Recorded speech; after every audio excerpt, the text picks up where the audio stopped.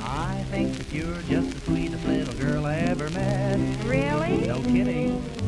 And you're the type of a boy that she